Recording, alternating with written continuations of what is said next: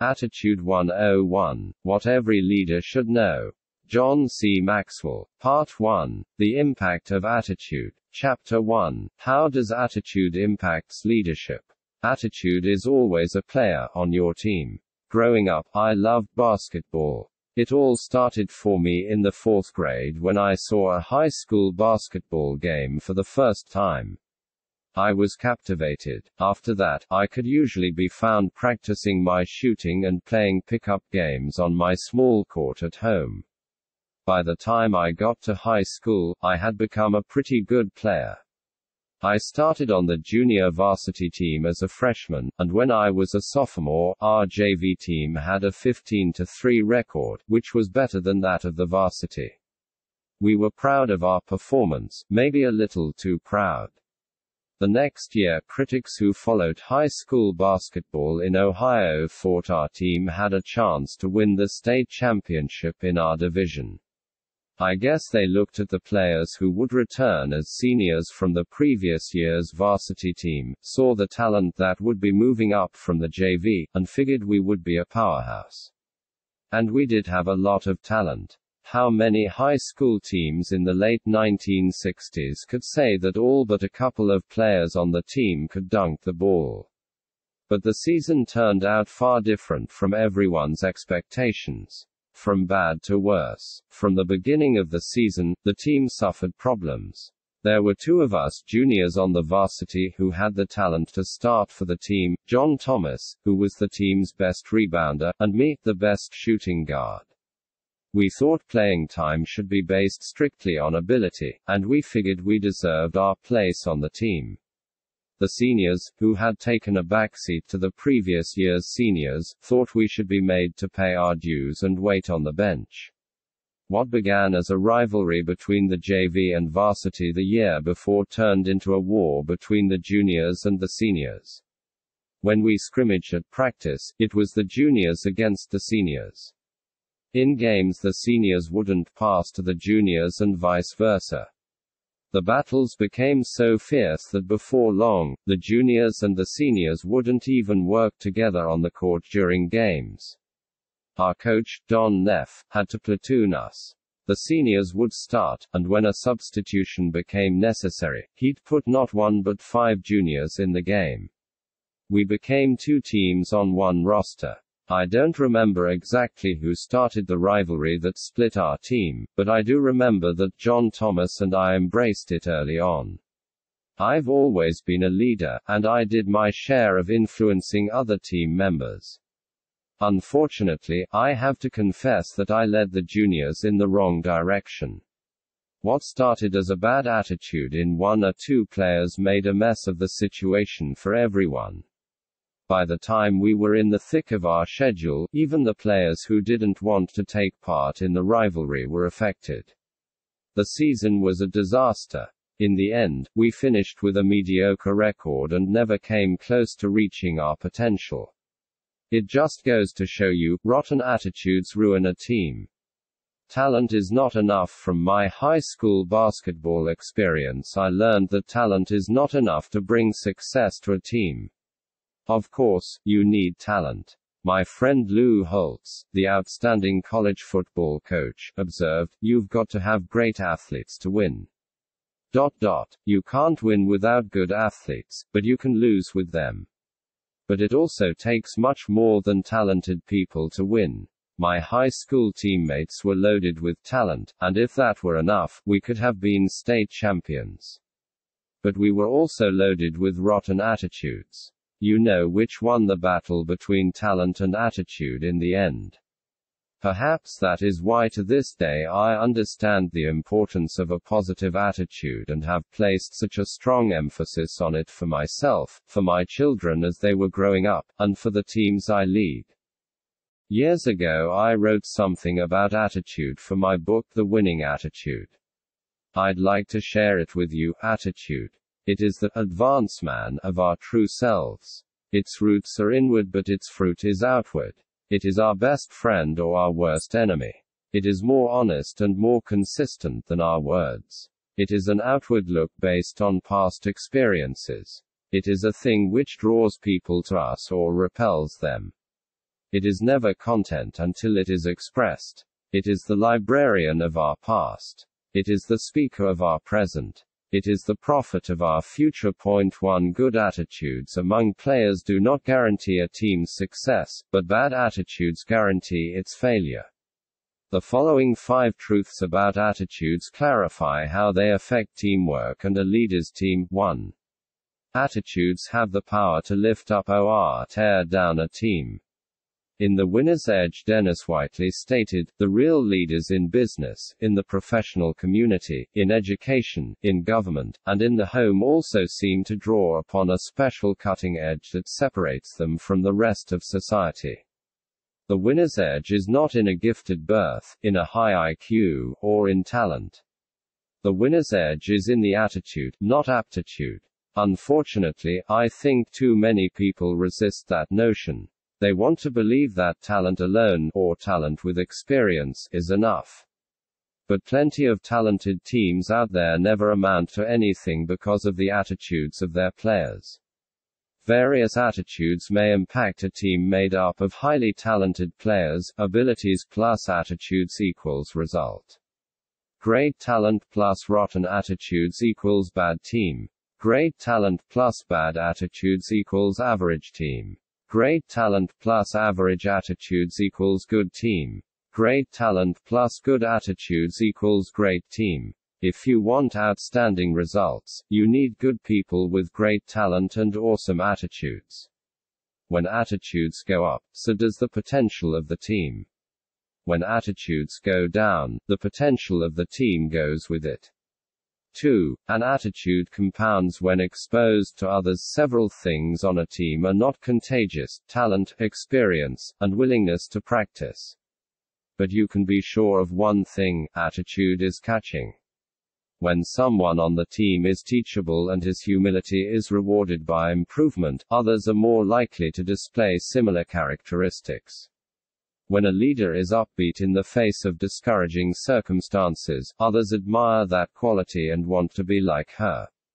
When a team member displays a strong work ethic and begins to have a positive impact, others imitate him.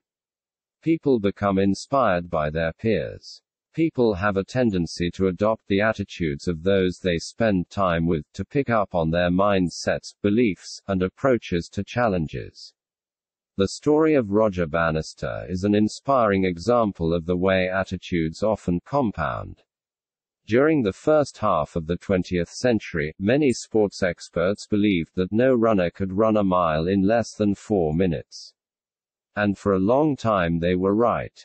But then on May 6, 1954, British runner and university student Roger Bannister ran a mile in 3 minutes 59.4 seconds during a meet in Oxford. Less than two months later, another runner, Australian John Landy, also broke the four-minute barrier. Then suddenly dozens and then hundreds of others broke it. Why? Because the best runners' attitudes changed. They began to adopt the mindsets and beliefs of their peers. Bannister's attitude and actions compounded when exposed to others. His attitude spread. Today, every world class runner who competes at that distance can run a mile in less than four minutes. Attitudes are contagious. 3. Bad attitudes compound faster than good ones. There's only one thing more contagious than a good attitude a bad attitude.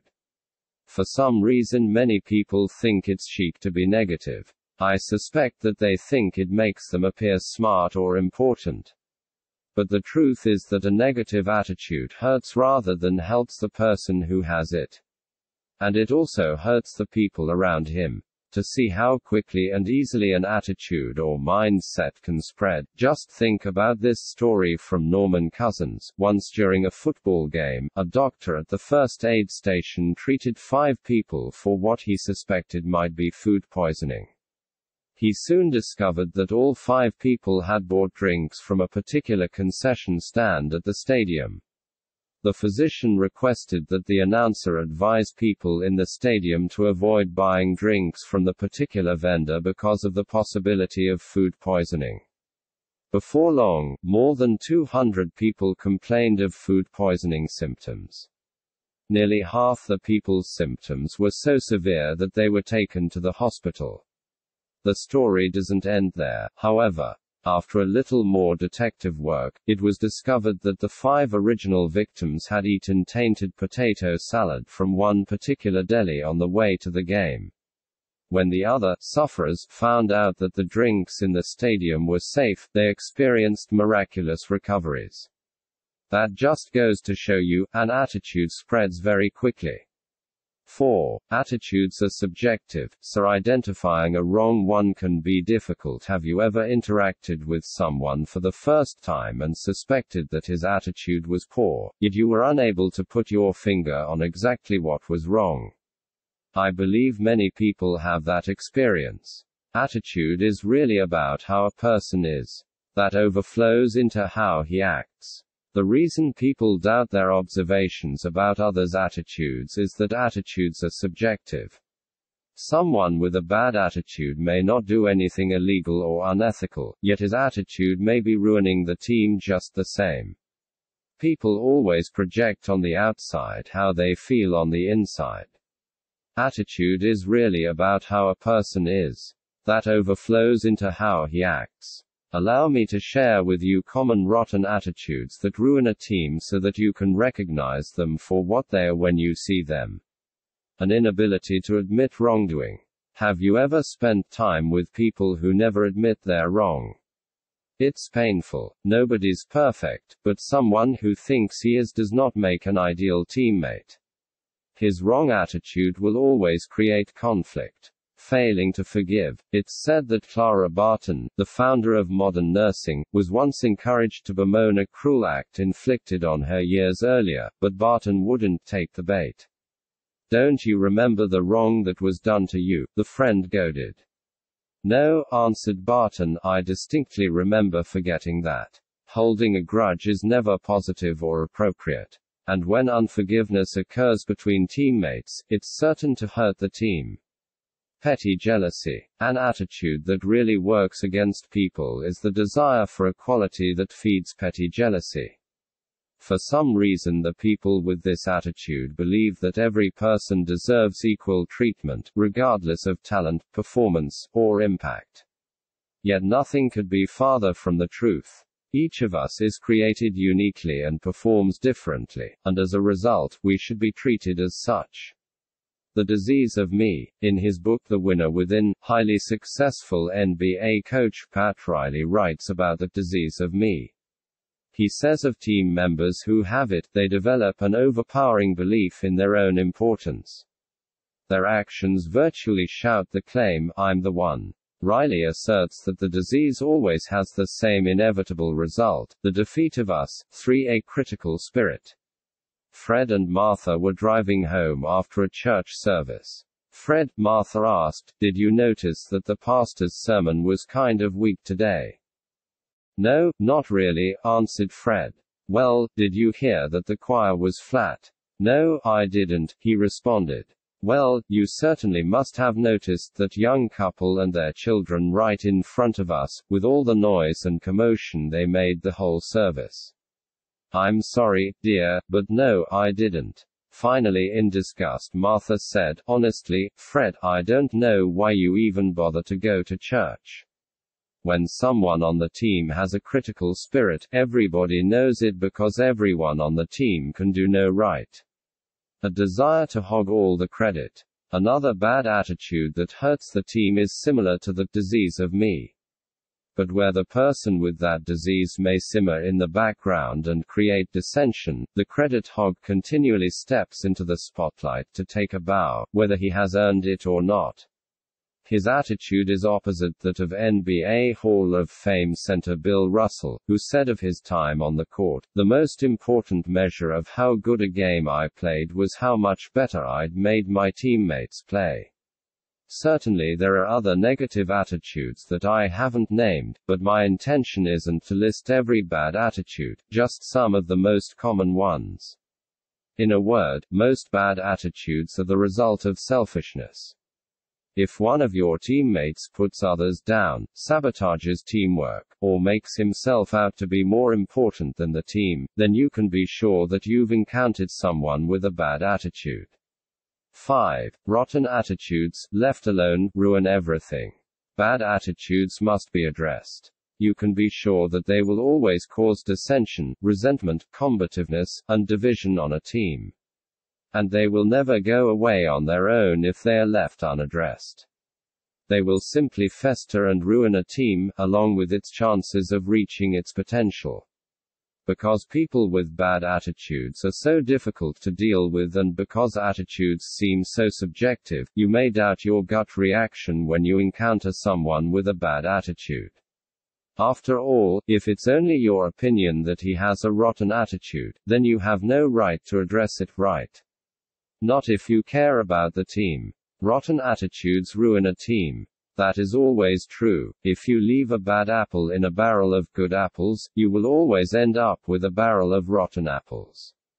Attitudes always impact a leader's effectiveness. President Thomas Jefferson remarked, Nothing can stop the man with the right mental attitude from achieving his goal, nothing on earth can help the man with the wrong mental attitude.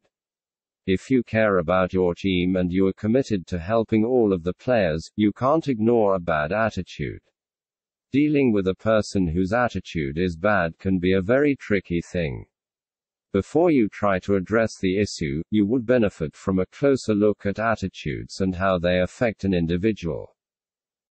Chapter 2 How does attitude impacts an individual? Your attitude and your potential go hand in hand. What is attitude? How do you put your finger on it? Well, attitude is an inward feeling expressed by behavior.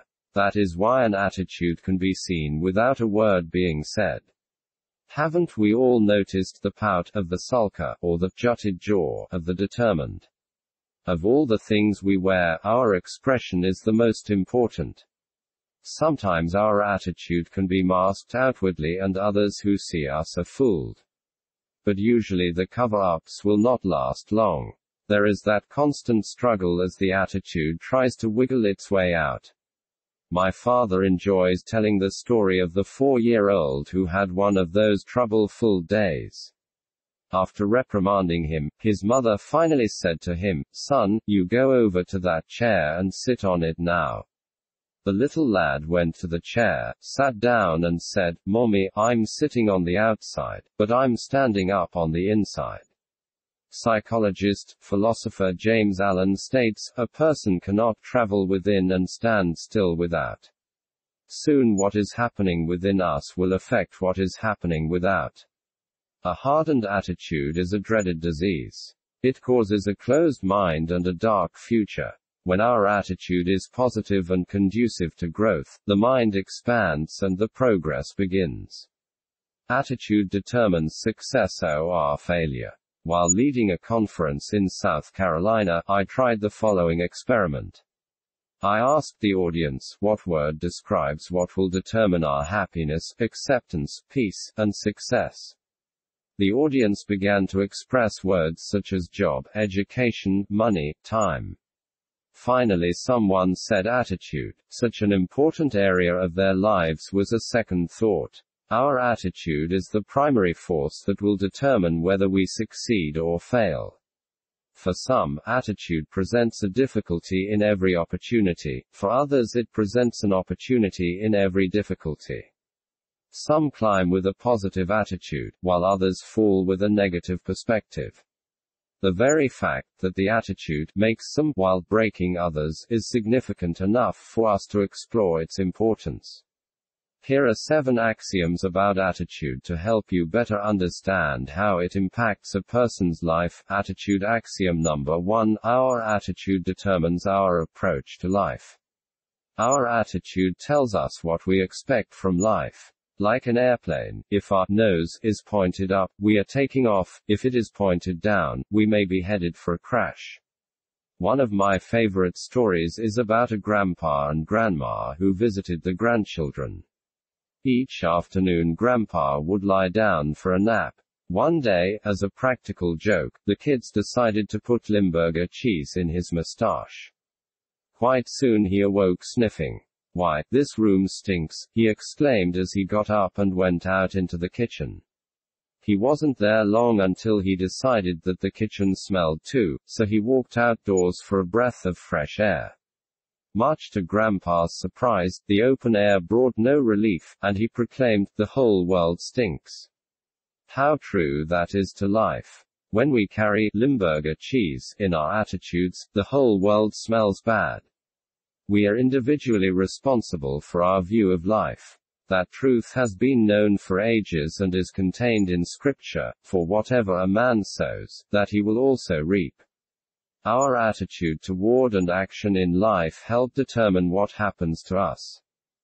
It would be impossible to estimate the number of jobs lost, the number of promotions missed, the number of sales not made, and the number of marriages ruined by poor attitudes. But almost daily we witness jobs that are held but hated and marriages that are tolerated but unhappy, all because people are waiting for others, or the world, to change instead of realizing that they are responsible for their own behavior. Attitude axiom number two Our attitude determines our relationships with people. All of life is impacted by your relationships with people, yet establishing relationships is difficult. You can't get along with some people, and you can't make it without them. That's why it is essential to build proper relationships with others in our crowded world. The Stanford Research Institute says that the money you make in any endeavor is determined only 12.5% by knowledge and 87.5% by your ability to deal with people. 87.5% people knowledge plus 12.5% product knowledge equals success. That is why Teddy Roosevelt said, the most important single ingredient to the formula of success is knowing how to get along with people. And why John D. Rockefeller said, I will pay more for the ability to deal with people than any other ability under the sun.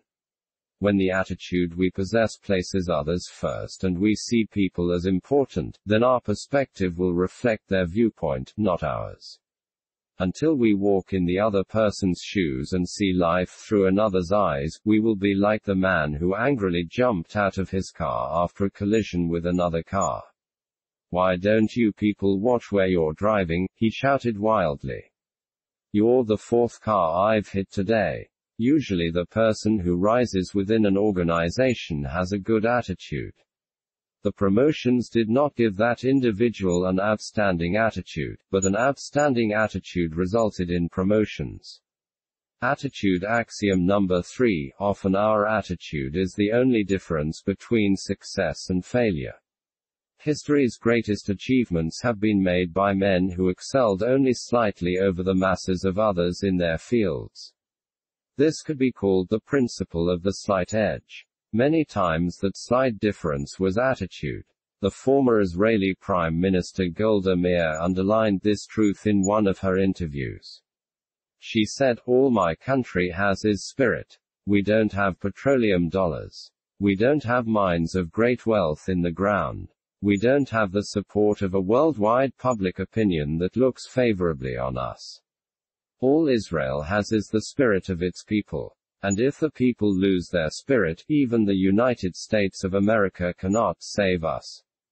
Certainly aptitude is important to our success in life. Yet success or failure in any undertaking is caused more by mental attitude than by mere mental capacities.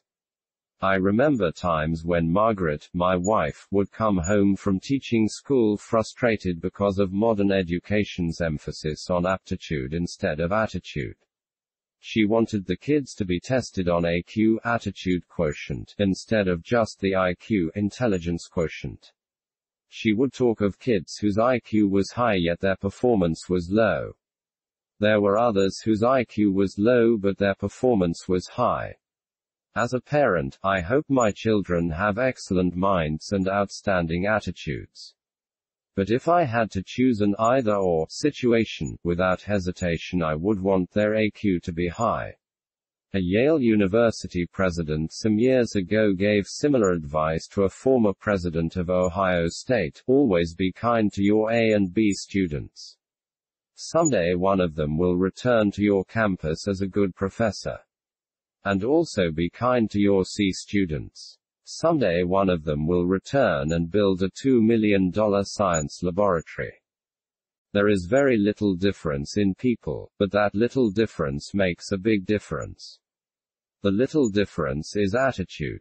The big difference is whether it is positive or negative. Attitude axiom number 4 Our attitude at the beginning of a task will affect its outcome more than anything else.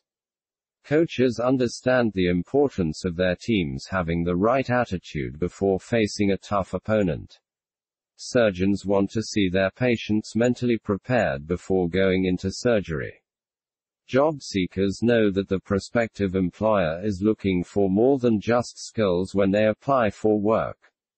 Public speakers want a conducive atmosphere before they communicate to their audience. Why? Because the right attitude in the beginning ensures success at the end. You are acquainted with the saying, all's well that ends well. An equal truth is, all's well that begins well. Most projects fail or succeed before they begin. A young mountain climber and an experienced guide were ascending a high peak in the Sierras. Early one morning the young climber was suddenly awakened by a tremendous cracking sound. He was convinced that the end of the world had come. The guide responded, It's not the end of the world, just the dawning of a new day. As the sun rose, it was merely hitting the ice and causing it to melt. Many times we have been guilty of viewing our future challenges as the sunset of life rather than the sunrise of a bright new opportunity. For instance, there's the story of two shoe salesmen who were sent to an island to sell shoes. The first salesman, upon arrival, was shocked to realize that no one wore shoes. Immediately he sent a telegram to his home office in Chicago saying, Will return home tomorrow. No one wears shoes. The second salesman was thrilled by the same realization. Immediately he wired the Home Office in Chicago saying, please send me 10,000 shoes.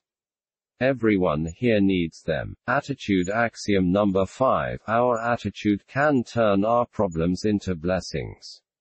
In Awake, My Heart, J. Sidlow Baxter wrote, What is the difference between an obstacle and an opportunity? Our attitude toward it. Every opportunity has a difficulty and every difficulty has an opportunity. When confronted with a difficult situation, a person with an outstanding attitude makes the best of it while he gets the worst of it. Life can be likened to a grindstone. Whether it grinds you down or polishes you depends upon what you are made of. While attending a conference of young leaders, I heard this statement, no society has ever developed tough men during times of peace. Adversity is prosperity to those who possess a great attitude.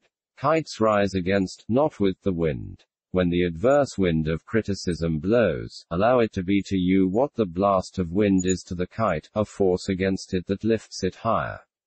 A kite would not fly unless it had the controlling tension of the string to tie it down. It is equally true in life. Consider the following successes that were accomplished through a positive attitude. When confronted with a difficult situation, a person with an outstanding attitude makes the best of it while he gets the worst of it. When Napoleon's school companions made sport of him because of his humble origin and poverty, he devoted himself entirely to his books. Quickly rising above his classmates in scholarship, he commanded their respect. Soon he was regarded as the brightest in the class. Few people knew Abraham Lincoln until the great weight of the Civil War showed his character. Robinson Crusoe was written in prison. John Bunyan wrote Pilgrim's Progress in the Bedford jail. Sir Walter Raleigh wrote the history of the world during a 13-year imprisonment. Luther translated the Bible while confined in the castle of Wartburg. For ten years Dante, author of the Divine Comedy, worked in exile and under the sentence of death. Beethoven was almost totally deaf and burdened with sorrow when he produced his greatest works. When God wants to educate someone, he does not send him to the school of graces but to the school of necessities. Great leaders emerge when crises occur. In the lives of people who achieve, we read repeatedly of terrible troubles that forced them to rise above the commonplace. Not only do they find the answers, but they also discover a tremendous power within themselves. Like a groundswell far out in the ocean, this force within explodes into a mighty wave when circumstances seem to overcome. Then out steps the athlete, the author, the statesman, the scientist, or the businessman. David Sarnoff said, There is plenty of security in the cemetery, I long for opportunity. Attitude axiom number 6 Our attitude can give us an uncommonly positive perspective. An uncommonly positive perspective is able to help us accomplish some uncommon goals. I have keenly observed the different approaches and results achieved by a positive thinker and by a person filled with fear and apprehension. For example, in ancient Israel when Goliath came up against the Hebrews, the soldiers all thought, he's so big we can never kill him. David looked at the same giant and thought, he's so big I can't miss. George Sweeting, former president of Moody Bible Institute, tells a story about a Scotsman who was an extremely hard worker and expected all the men under him to be the same. His men would tease him, Scotty, don't you know that Rome wasn't built in a day? Yes, he would answer, I know that. But I wasn't foreman on that job. Individuals whose attitudes cause them to approach life from an entirely positive perspective are not always understood. They are what some would call at no limit people. In other words, they don't accept the normal limitations of life as most people do. They are unwilling to accept the accepted, just because it is accepted. Their response to self-limiting conditions will probably be, why, instead of, okay. Certainly, they have limitations. The gifts are not so plentiful that they cannot fail. But they are determined to walk to the very edge of their potential and the potential of the goals before accepting defeat. They are like bumblebees. According to a theory of aerodynamics, as demonstrated through the wind tunnel tests, the bumblebee should be unable to fly. Because of the size, weight, and shape of its body in relationship to the total wingspan, flying is scientifically impossible. The bumblebee, being ignorant of scientific theory, goes ahead and flies anyway and makes honey every day. The future not only looks bright when the attitude is right, but also the present is much more enjoyable. The positive person understands that the journey of success is as enjoyable as the destination.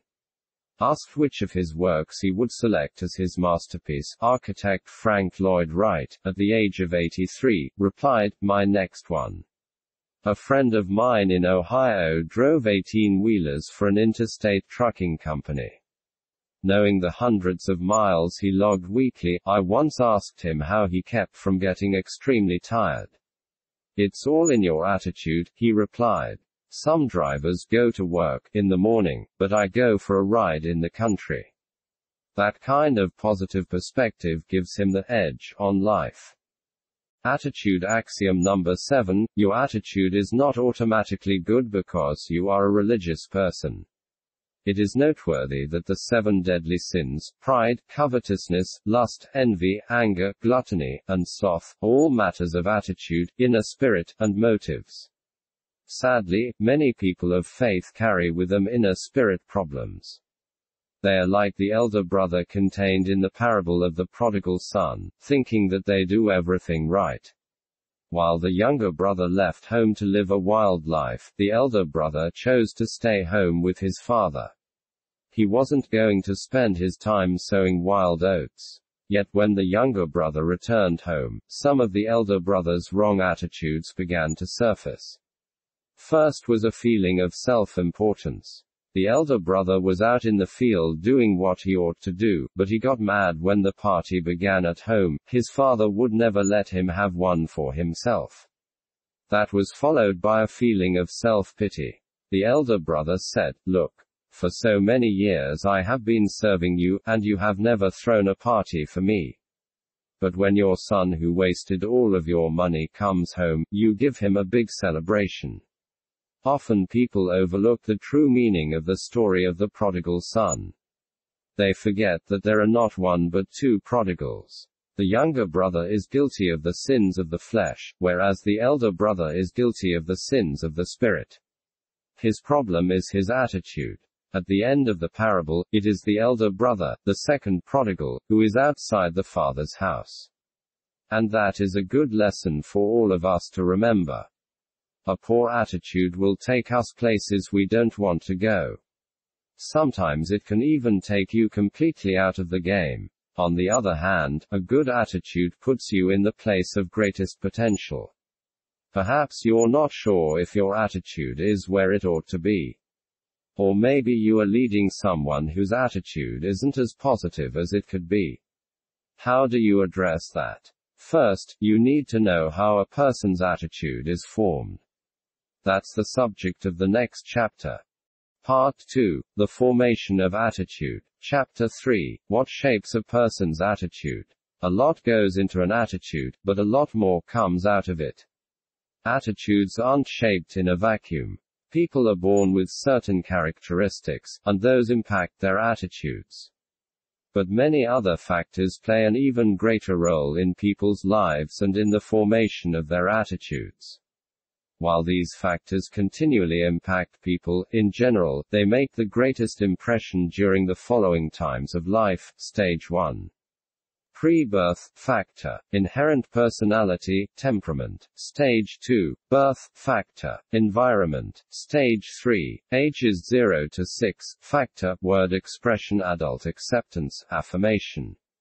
Stage 4, ages 6 to 10, factor, Self-image exposure to new experiences. Stage 5, ages 11 to 21, factor. Peers, physical appearance. Stage 6, ages 21 to 61, factor. Marriage, family, job, success.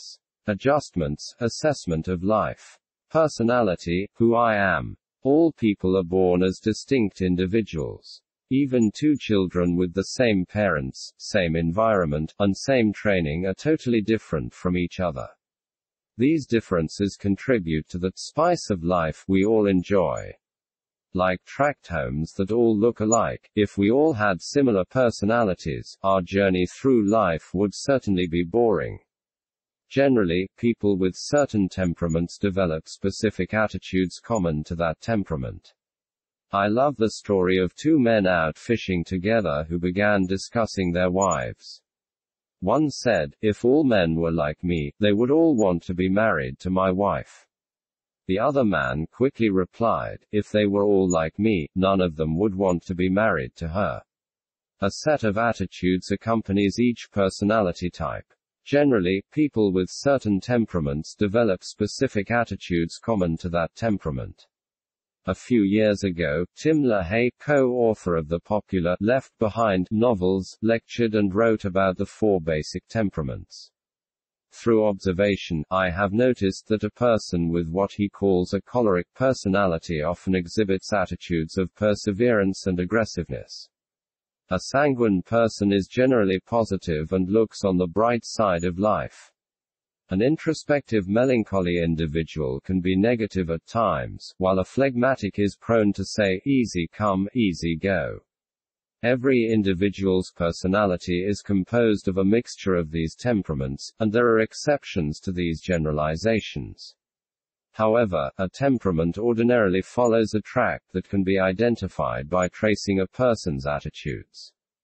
Environment, what's around me, I believe that environment is a greater controlling factor in our attitude development than our personality or other inherited traits. Before my wife, Margaret, and I began our family, we decided to adopt our children. We wanted to give a child who might not normally have the benefit of a loving faith filled home an opportunity to live in that environment. Although our children may not physically resemble us, they certainly have been molded by the environment in which we have reared them. The environment of early childhood develops a person's belief system. Children continually pick up priorities, attitudes, interests, and philosophies from their environment. It is a fact that what I really believe affects my attitude. However, the things I believe may not be true. What I believe may not be healthy. It may even hurt others and destroy me. Yet an attitude is reinforced by a belief, whether it is right or wrong. Environment is the first influencer of our belief system. Therefore, the foundation of an attitude is laid in the environment to which we were born. Environment becomes even more significant when we realize that the beginning attitudes are the most difficult to change. Word expression What I hear. You've undoubtedly heard the old saying, sticks and stones may break my bones, but names will never hurt me. Don't you believe that? In fact, after the bruises have disappeared and the physical pain is gone, the inward pain of hurtful words remains. Years ago when I was leading a church, during one of our staff meetings I asked the pastors, secretaries, and custodians to raise their hands if they could remember a childhood experience that hurt deeply because of someone's words. Everyone raised his hand. One pastor recalled the time when he sat in a reading circle at school. Do you remember how intimidating those sessions were? When his time came to read, he mispronounced the word photography. He read it photography instead of photography. The teacher corrected him and the class laughed. He still remembers. Forty years later, one positive result of that experience was his desire from that moment on to pronounce words correctly. Today, one of the reasons he excels as a speaker is because of that determination. Adult acceptance, affirmation what I feel. Often when I am speaking to leaders, I tell them about the importance of accepting and affirming the ones they are leading. The truth is, people don't care how much you know until they know how much you care. Think back to your school days. Who was your favorite teacher? Now think of why. Probably your warmest memories are of someone who accepted and affirmed you. We seldom remember what our teacher said to us, but we do remember how they loved us. Long before we understand teaching, we reach out for understanding. Long after we have forgotten the teachings, we remember the feeling of acceptance or rejection. People don't care how much you know until they know how much you care. Many times I have asked people if they enjoyed their pastor's sermon the previous week. After a positive response I ask, what was his subject? 75% of the time they cannot give me the sermon title. They do not remember the exact subject, but they do remember the atmosphere and attitude in which it was delivered. My favorite Sunday school teachers from my childhood are beautiful examples of this truth. First came Katie, my second grade teacher. When I was sick and missed her class, she would come and visit me on Monday. She would ask how I was feeling and give me a five cent trinket that was worth a million dollars to me. Katie would say, Johnny, I always teach better when you are in the class. When you come next Sunday morning, would you raise your hand so I can see you are in attendance? Then I will teach better. I can still remember raising my hand and watching Katie smile at me from the front of the class. I also remember other kids raising their hands on Sundays when Katie began to teach and her class grew rapidly. That year, the Sunday school superintendent wanted to split the class and start a new one across the hall. He asked for volunteers for the new class and no one raised his hand. Why? No kid wanted to go with a new teacher and miss Katie's continual demonstration of love. Another teacher I remember is Glenn Leatherwood. He taught all the junior high school boys in the church where I grew up. Did you ever teach a group of 10 wiggles per minute boys? Usually those teachers go straight from teaching that class to their heavenly reward. But not Glenn. He taught junior high boys for another 30 years. The 12 months I spent in his class made a profound impact on my faith and my life's work. I was also privileged to grow up in a very affirming family. I never questioned my parents' love and acceptance. They continually affirmed their love through actions and words. When our children were growing up, Margaret and I tried to create that same environment for them. I believe that our kids saw or sensed our acceptance and affirmation at least 30 times a day.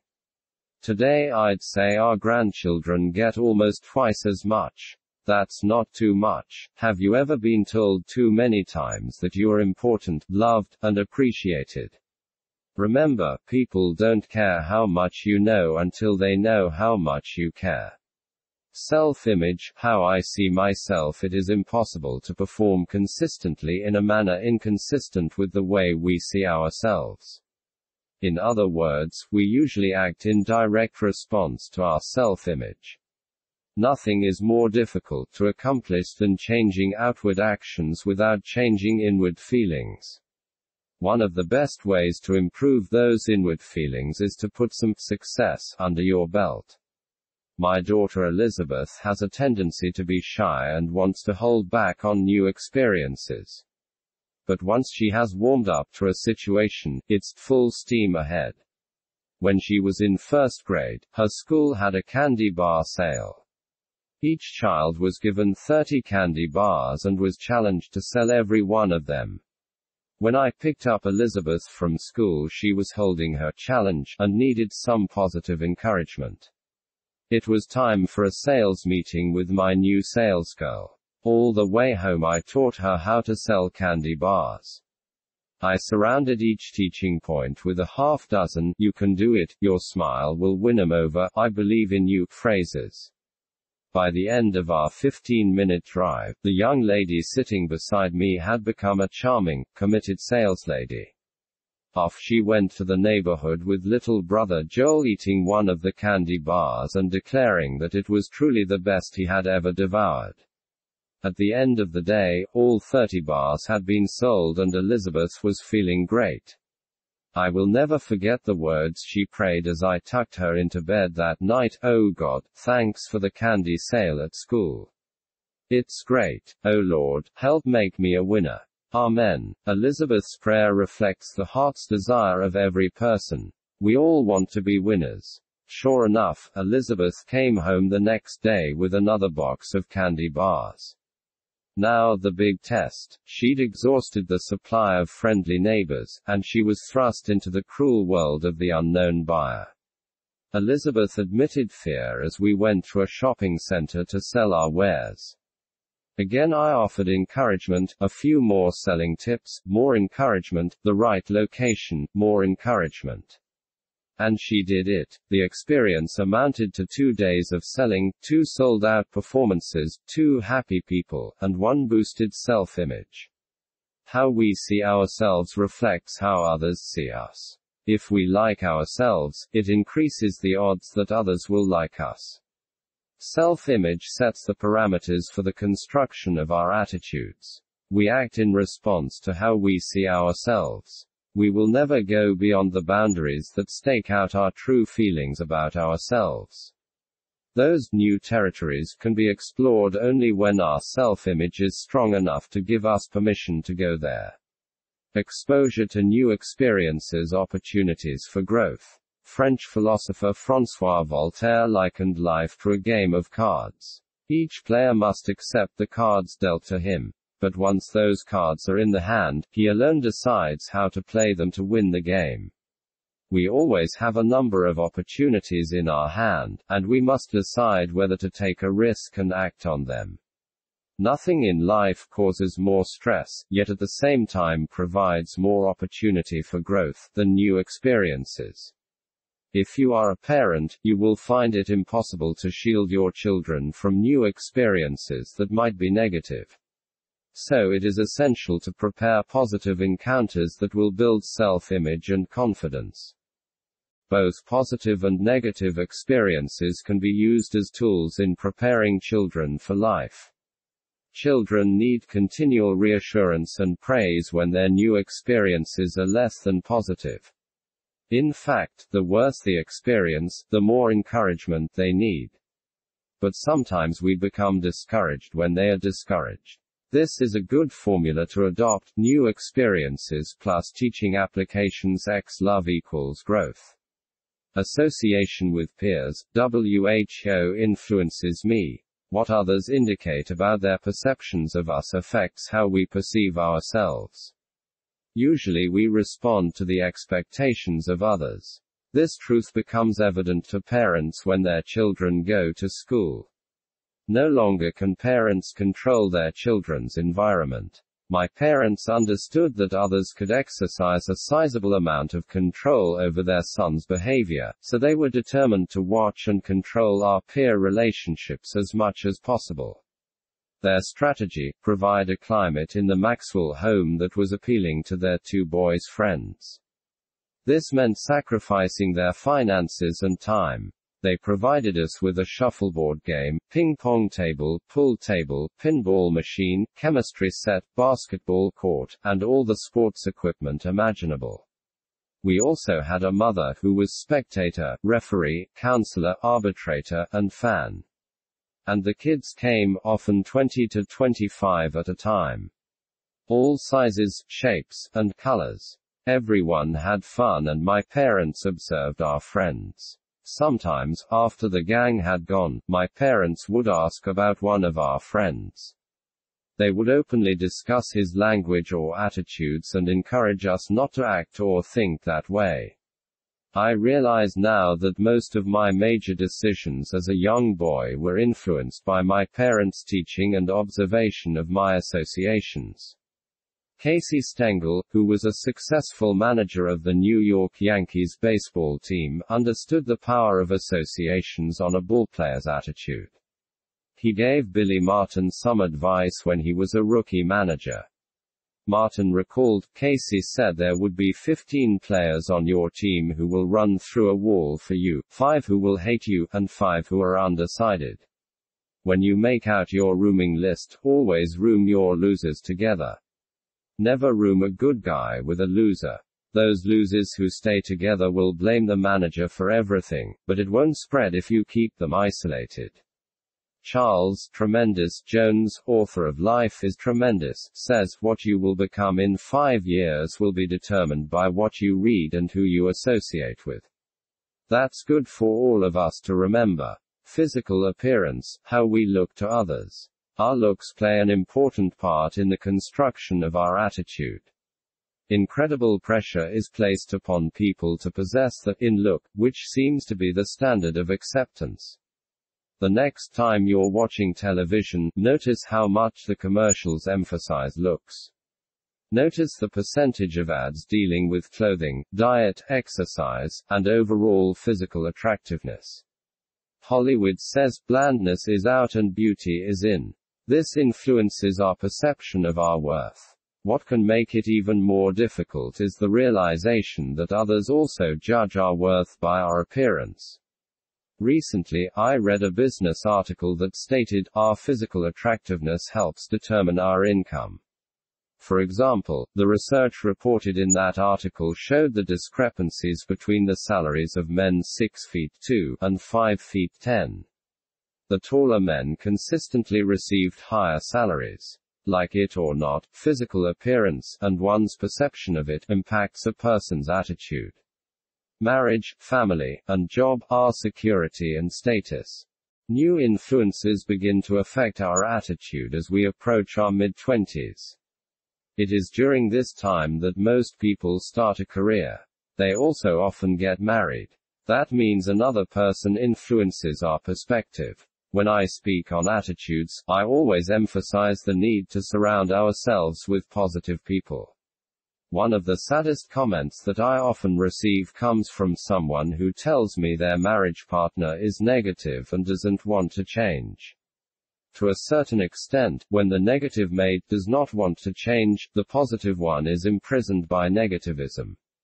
In such situations I advise the couple to remember their spouse as the person they loved in their courtship days.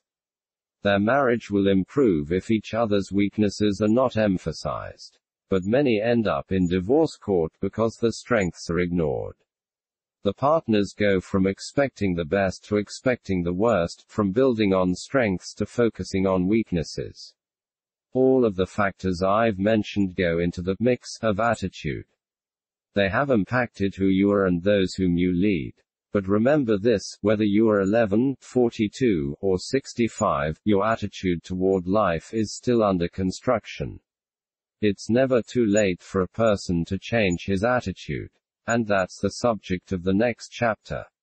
Chapter 4 Can an attitude be changed? The key to having a good attitude is the willingness to change. We are either the masters or the victims of our attitudes. It is a matter of personal choice. Who we are today is the result of choices we made yesterday. Tomorrow we will become what we choose today.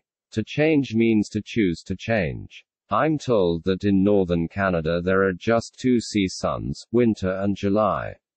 When the back roads begin to thaw, they become muddy.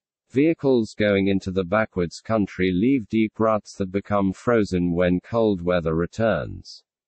For those entering remote areas during the winter months, there are signs that read, Driver, please choose carefully which rut you drive in, because you'll be in it for the next 20 miles. Some people seem to feel stuck in their current attitudes, like a car in a 20 mile rut. However, attitude is not permanent. If you're not happy with yours, know that you can change it.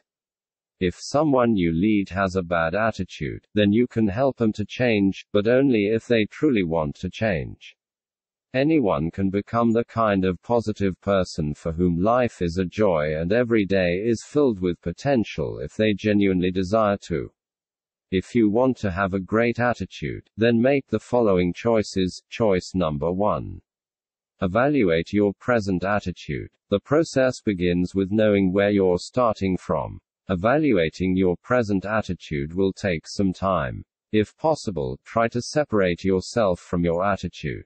The goal of this exercise is not to see the bad you, but a bad attitude that keeps you from being a more fulfilled person. You can make key changes only when you identify the problem. When he sees a logjam, the professional logger climbs a tall tree and locates a key log, blows that log free, and lets the stream do the rest. An amateur would start at the edge of the jam and move all the logs, eventually moving the key log. Obviously, both methods will get the logs moving, but the professional does his work more quickly and effectively.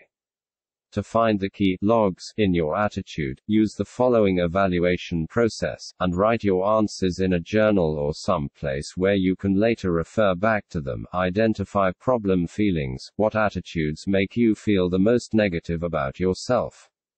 Usually feelings can be sensed before the problem is clarified.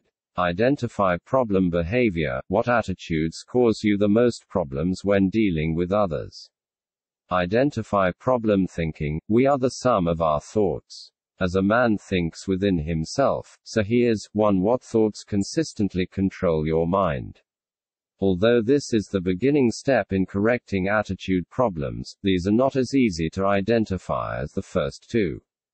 Clarify truth. In order to know how to change, you need to examine your feelings in light of truth. If you are a person of faith, then use the scriptures.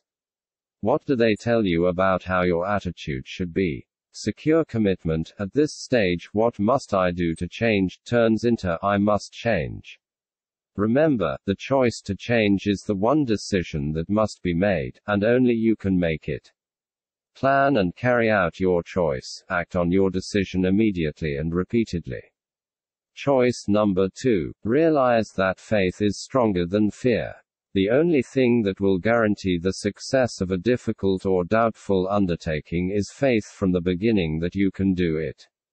Philosopher William James said, The greatest discovery of my generation is that people can alter their lives by altering their attitudes of mind. Change depends on your frame of mind. Believe that you can change. Ask your friends and colleagues to encourage you at every opportunity. And if you are a person of faith, ask for God's help.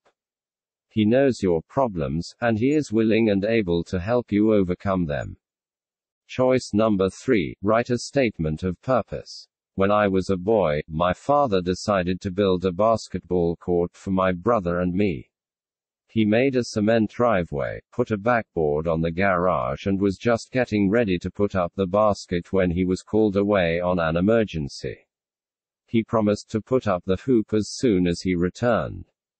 No problem, I thought. I have a brand new Spalding ball and a new cement driveway on which to dribble it.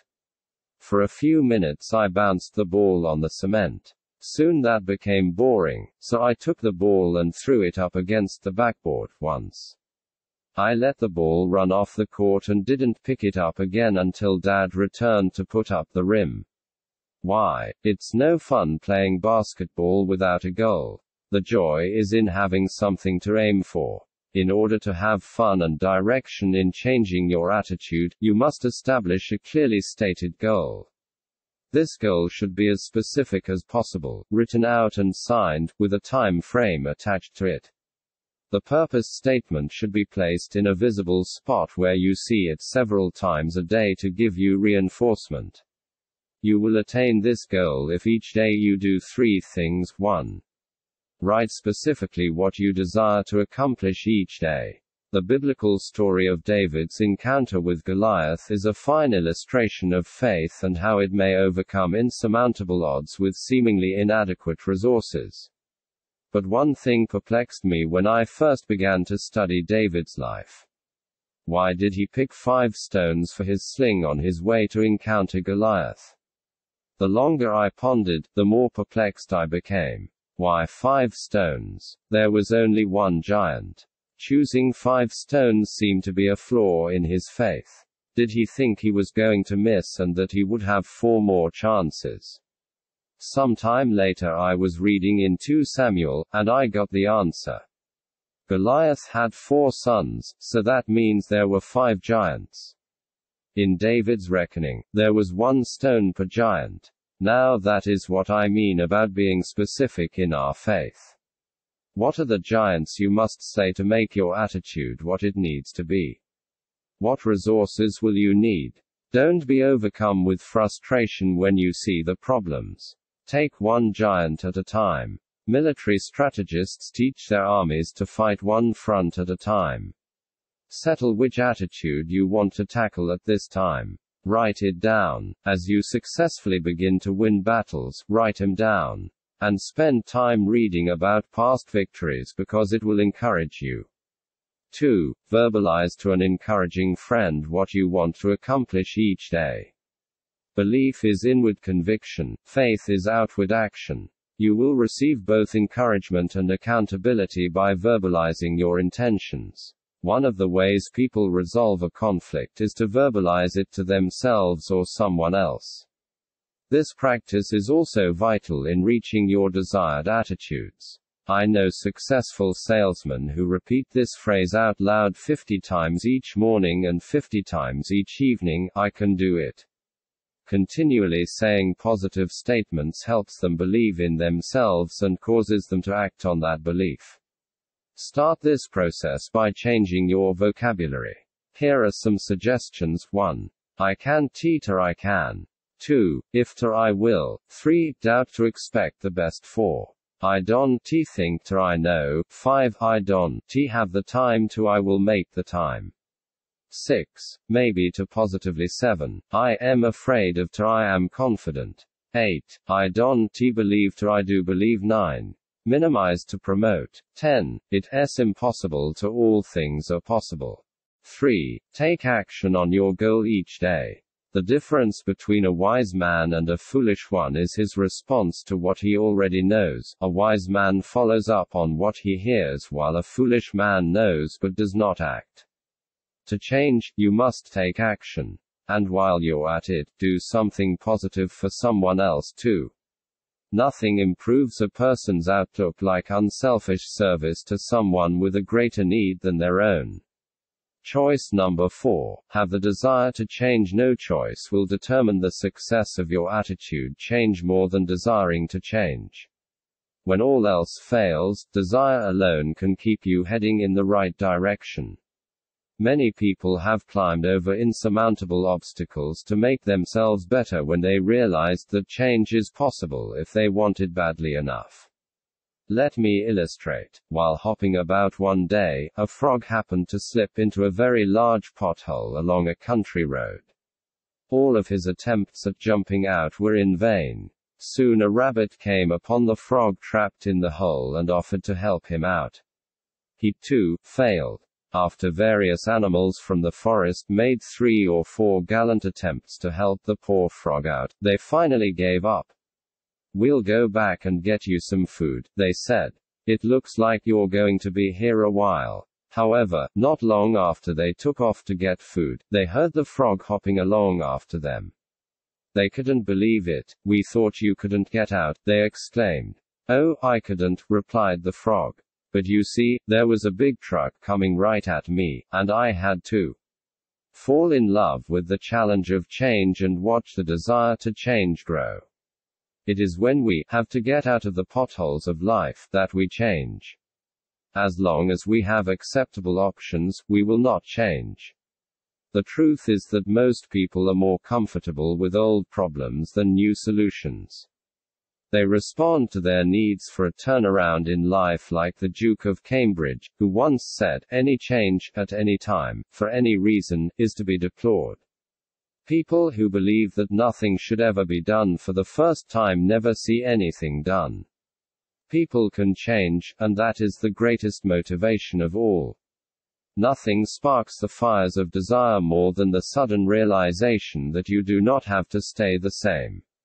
Fall in love with the challenge of change and watch the desire to change grow. That's what happened to Aleida Wiesen, 78, of Rotterdam, Netherlands. She had been a smoker for 50 years, and for 50 years she tried to give up the habit but she was unsuccessful. Then Leo Jensen, 79, proposed marriage and refused to go through with the wedding until Aleida gave up smoking. Aleida says willpower never was enough to get me off the habit. Love did it. My life is dedicated to helping others reach their potential. I suggest that you follow the advice of Mark Twain, who said, Take your mind out every now and then and dance on it. It is getting all caked up. It was his way of saying, get out of that rut. Too many times we settle into a set way of thinking and accept limitations that need not be placed upon us. Embrace change, and it will change you. Choice number 5 Live one day at a time. Any person can fight the battle for just one day. It is only when you and I add the burdens of those two awful eternities, yesterday and tomorrow, that we tremble. It is not the experiences of today that drive people to distraction, it is the remorse or bitterness for something that happened yesterday and the dread of what tomorrow may bring. Let us therefore live but one day at a time, today. Choice number 6 Change your thought patterns. That which holds our attention determines our actions. We are where we are and what we are because of the dominating thoughts that occupy our minds. Take a look at this syllogism. It emphasizes the power of our thought life. Major premise, we can control our thoughts. Minor premise, our feelings come from our thoughts. Conclusion, we can control our feelings by learning to change how we think. It is that simple. Our feelings come from our thoughts.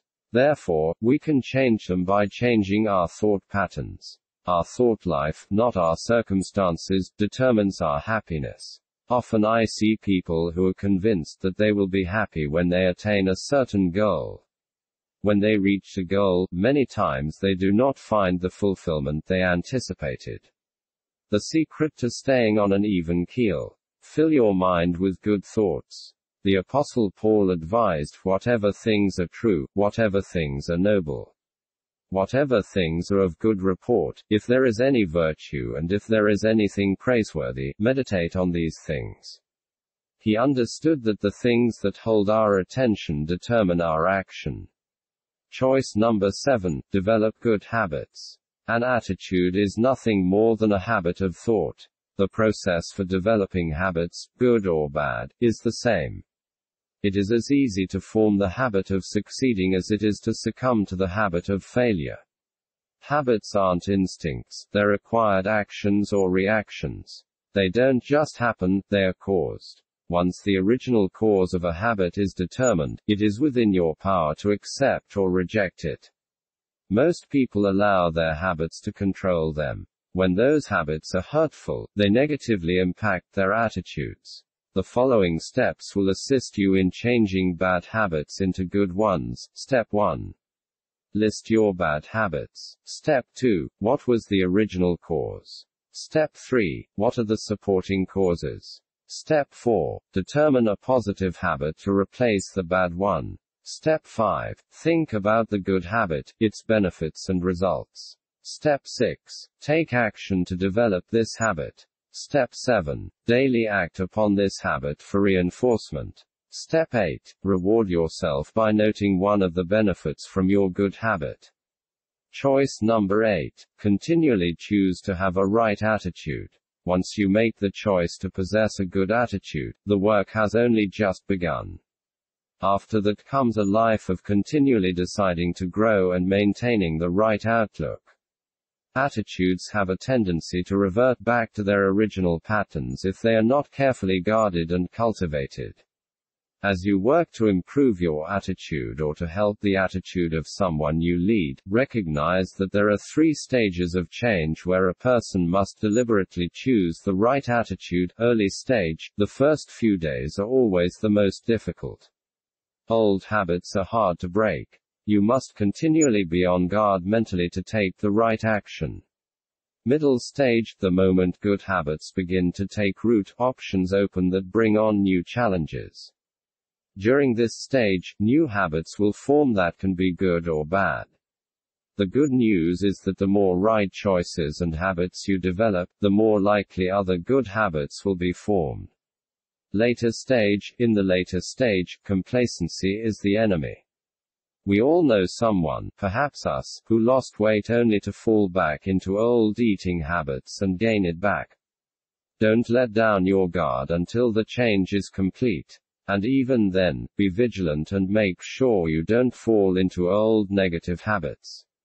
You are the only one who can determine what you will think and how you will act. And that means you can make your attitude what you want it to be. But even if you succeed and become a positive person, that won't shield you from negative experiences. How does a positive person deal with obstacles and remain upbeat? To find the answer to that question, read the next chapter. Chapter 5 Can obstacles can actually enhance attitude? The greatest battle you wage against failure occurs on the inside, not the outside. Working artists David Bayles and Ted Orland tell a story about an art teacher who did an experiment with his grading system for two groups of students. It is a parable on the benefits of failure. Here is what happened. The ceramics teacher announced on opening day that he was dividing the class into two groups. All those on the left side of the studio, he said, would be graded solely on the quantity of work they produced, all those on the right solely on its quality. His procedure was simple. On the final day of class, he would bring in his bathroom scale and weigh the work of the quantity group 50 pounds of pots rated an A, 40 pounds A, B, and so on. Those being graded on quality, however, needed to produce only one pot, albeit a perfect one, to get an A. Well, come grading time and a curious fact emerged, the works of the highest quality were all produced by the group being graded for quantity. It seems that while the quantity group was busily churning out piles of work, and learning from their mistakes, the quality group had sat theorizing about perfection, and in the end had little more to show for their efforts than grandiose theories and a pile of dead clay. Point 1 It doesn't matter whether your objectives are in the area of art, business, ministry, sports, or relationships. The only way you can get ahead is to fail early, fail often, and fail forward. Take the journey. I teach leadership to thousands of people each year at numerous conferences. And one of my greatest concerns is always that some people will go home from the event and nothing will change in their lives. They enjoy the show, but fail to implement any of the ideas that were presented to them. I tell people continually, we overestimate the event and underestimate the process. Every dream that anyone has achieved came because of dedication to a process. That's one of the reasons I write books and create audio programs, so that people can engage in the ongoing process of growth. People naturally tend toward inertia. That's why self improvement is such a struggle. But that's also the reason that adversity lies at the heart of every success. The process of achievement comes through repeated failures and the constant struggle to climb to a higher level. In order to achieve your dreams, you must embrace adversity and make failure a regular part of your life. If you're not failing, you're probably not really moving forward. When it comes to facing failure, most people will grudgingly concede that any person must make it through some adversity in order to succeed. They'll acknowledge that you have to experience the occasional setback to make progress. But I believe that success comes only if you take that thought one step further. In order to achieve your dreams, you must embrace adversity and make failure a regular part of your life. If you're not failing, you're probably not really moving forward. The benefits of adversity. Psychologist Dr. Joyce Brothers asserts the person interested in success has to learn to view failure as a healthy, inevitable part of the process of getting to the top. Adversity and the failure that often results from it should not only be expected in the process of succeeding, they need to be viewed as an absolutely critical part of it. In fact, the benefits of adversity are many. Take a look at some of the key reasons to embrace adversity and persevere through it. 1. Adversity creates resilience. Nothing in life breeds resilience like adversity and failure. A study in Time magazine in the mid-1980s described the incredible resilience of a group of people who had lost their jobs three times because of plant closings. Psychologists expected him to be discouraged, but they were surprisingly optimistic. Their adversity had actually created an advantage. Because they had already lost a job and found a new one at least twice, they were better able to handle adversity than people who had worked for only one company and found themselves unemployed. 2. Adversity develops maturity. Adversity can make you better if you don't let it make you bitter. Why? Because it promotes wisdom and maturity. American novelist William Saroyan said, Good people are good because they've come to wisdom through failure. We get very little wisdom from success, you know. As the world continues to change at a faster and faster rate, maturity with flexibility becomes increasingly important. Those qualities come from weathering difficulties. Harvard Business School professor John Kotter says, I can imagine a group of executives 20 years ago discussing a candidate for a top job and saying, this guy had a big failure when he was 32. Everyone else would say, yep, yep, that's a bad sign. I can imagine that same group considering a candidate today and saying, What worries me about this guy is that he's never failed. 3. The problems we face and overcome prepare us for future difficulties. 3. Adversity pushes the envelope of accepted performance. Lloyd Ogilvie says that a friend of his, who was a circus performer in his youth, described his experience of learning to work on the trapeze as follows Once you know that the net below will catch you, you stop worrying about falling. You actually learn to fall successfully. What that means is, you can concentrate on catching the trapeze swinging toward you, and not on falling, because repeated falls in the past have convinced you that the net is strong and reliable when you do fall. Dot dot. The result of falling and being caught by the net is a mysterious confidence and daring on the trapeze. You fall less. Each fall makes you able to risk more. Point 4 Until a person learns from personal experience that he can live through adversity, he is reluctant to buck mindless tradition, push the envelope of organizational performance, or challenge himself to press his physical limits. Failure helps prompt people to rethink the status quo. 4. Adversity provides greater opportunities. I believe that eliminating problems limits our potential. Just about every successful entrepreneur I've met has numerous stories of adversity and setbacks that opened doors to greater opportunity. For example, in 1978 Bernie Marcus, the son of a poor Russian cabinetmaker in Newark, New Jersey, was fired from Handy Dan, a do-it-yourself hardware retailer. That prompted Marcus to team with Arthur Blank to start their own business.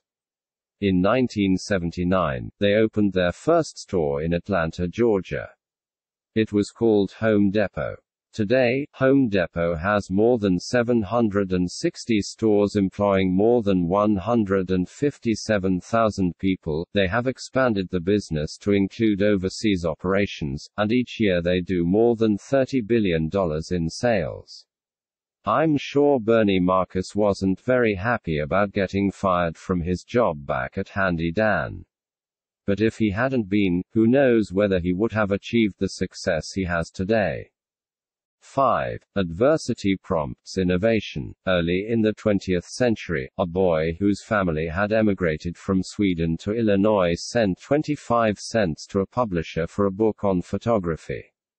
What he received instead was a book on ventriloquism. What did he do? He adapted and learned ventriloquism. He was Edgar Bergen, and for over 40 years he entertained audiences with the help of a wooden dummy named Charlie McCarthy. The ability to innovate is at the heart of creativity, a vital component in success.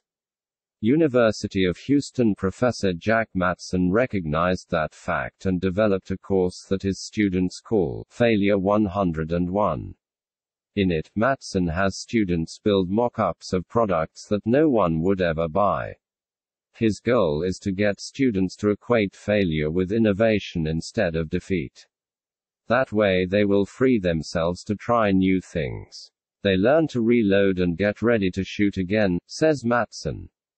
If you want to succeed, you have to learn to make adjustments to the way you do things and try again. Adversity helps to develop that ability. 6. Adversity brings unexpected benefits. The average person makes a mistake, and automatically thinks that it's a failure but some of the greatest stories of success can be found in the unexpected benefits of mistakes.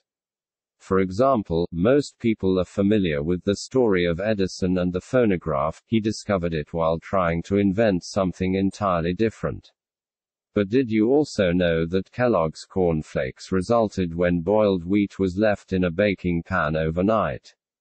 or that ivory soap floats because a batch was left in the mixer too long and had a large volume of air whipped into it. Or that Scott towels were launched when a toilet paper machine put too many layers of tissue together. In science, mistakes always precede the truth. Horace Walpole. Horace Walpole said that, in science, mistakes always precede the truth. That's what happened to German Swiss chemist Christian Friedrich Schonbein. One day he was working in the kitchen, which his wife had strictly forbidden, and was experimenting with sulfuric and nitric acid. When he accidentally spilled some of the mixture on the kitchen table, he thought he was in trouble. He knew he would experience adversity when his wife found out. He hurriedly snatched up a cotton apron, wiped up the mess, and hung the apron by the fire to dry. Suddenly there was a violent explosion. Evidently the cellulose in the cotton underwent a process called nitration. Unwittingly, Schonbein had invented nitrocellulose, what came to be called smokeless gunpowder or gun cotton. He went on to market his invention, which made him a lot of money. 7. Adversity motivates Years ago when Bear Bryant was coaching the University of Alabama's football team, the Crimson Tide was ahead by only six points in a game with less than two minutes remaining in the fourth quarter. Bryant sent his quarterback into the game with instructions to play it safe and run out the clock. In the huddle, the quarterback said, Coach says to play it safe, but that's what they're expecting. Let's give them a surprise. And with that, he called a pass play. When the quarterback dropped back and threw the pass, the defending cornerback, who was a champion sprinter, intercepted the ball and headed for the end zone expecting to score a touchdown. The quarterback, who was not known as a good runner, took off after the cornerback and ran him down from behind, tackling him on the five yard line. It saved the game. After the clock ran out, the opposing coach approached Bear Bryant and said, What's this business about your quarterback not being a runner? He ran down my speedster from behind. Bryant responded, Your man was running for six points. My man was running for his life. Nothing can motivate a person like adversity. Olympic diver Pat McCormick said, I think failure is one of the great motivators. After my narrow loss in the 1948 trials, I knew how really good I could be. It was the defeat that focused all my concentration on my training and goals. McCormick went on to win two gold medals in the Olympics in London that year and another two in Helsinki four years later. If you can step back from the negative circumstances you face in life, you will be able to discover that there are positive benefits to your negative experiences. That is almost always true, you simply have to be willing to look for them, and not take the adversity you are experiencing too personally. So if you lose your job, think about the resilience you're developing. If you try something daring and survive, think about what you learned about yourself, and how it will help you take on new challenges. If a restaurant gets your order wrong, figure out if it's an opportunity to learn a new skill. And if you experience a train wreck in your career, think of the maturity it's developing in you. Besides, Bill Vaughan says, in the game of life it's a good idea to have a few early losses, which relieves you of the pressure of trying to maintain an undefeated season. Always measure an obstacle next to the size of the dream you're pursuing. It's all in how you look at it. Try, and you can find the good in every bad experience. What could be worse? One of the most incredible stories of adversity overcome and success gained is that of Joseph of the ancient Hebrews. You may be familiar with the story. He was born the 11th of 12 sons in a wealthy Middle Eastern family whose trade was raising livestock. As a teenager, Joseph alienated his brothers. First, he was his father's favorite, even though he was nearly the youngest. Second, he used to tell his father any time his brothers weren't doing their work properly with the sheep. And third, he made the mistake of telling his older brothers that one day he would be in charge of them. At first, a group of his brothers wanted to kill him, but the eldest, Reuben, prevented him from doing that. So when Reuben wasn't around, the others sold him into slavery. Joseph ended up in Egypt working in the house of the captain of the guard, a man named Potiphar. Because of his leadership and administrative skill, Joseph quickly rose in the ranks, and before long, he was running the entire household. He was making the best of a bad situation. But then things got worse. The wife of his master tried to persuade him to sleep with her. When he refused, she accused him of making advances toward her, and got Potiphar to throw Joseph in prison. From slavery to prison. At that point, Joseph was in about as difficult a position as he could be. He was separated from his family. He was living away from home in a foreign land. He was a slave, and he was in prison. But again, he made the best of a tough situation. Before long, the warden of the prison put Joseph in charge of all the prisoners and all the prison's daily activities. While in prison, Joseph got the chance to meet a fellow prisoner who had been an official from Pharaoh's court, the chief cupbearer. And Joseph was able to do him a favor by interpreting a dream the man had. When he saw that the official was grateful, Joseph made a request of him in return. When all goes well with you, Joseph asked, Remember me and show me kindness, mention me to Pharaoh and get me out of this prison. For I was forcibly carried off from the land of the Hebrews, and even here I have done nothing to deserve being put in a dungeon. Joseph had great hope a few days later when the official was returned to court and the good graces of the monarch. He expected any minute to receive word that Pharaoh was setting him free.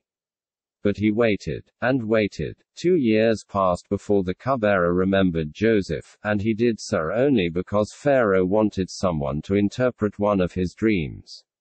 Finally, The payoff. In the end, Joseph was able to interpret Pharaoh's dreams. And because the Hebrew showed such great wisdom, the Egyptian ruler put Joseph in charge of the entire kingdom.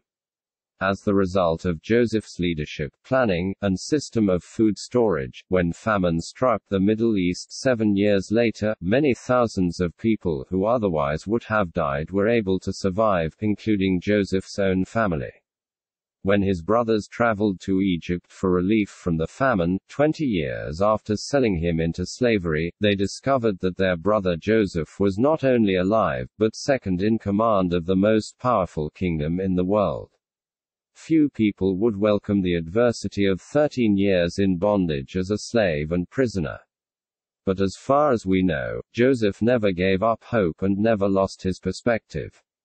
Nor did he hold a grudge against his brothers. After their father died, he told them, You intended to harm me, but God intended it for good to accomplish what is now being done, the saving of many lives.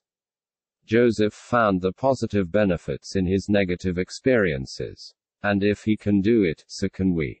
To help you do that, you need to take the next step when it comes to attitude. You have to be able to deal positively with failure. Part 3 The Future with the Right Attitude.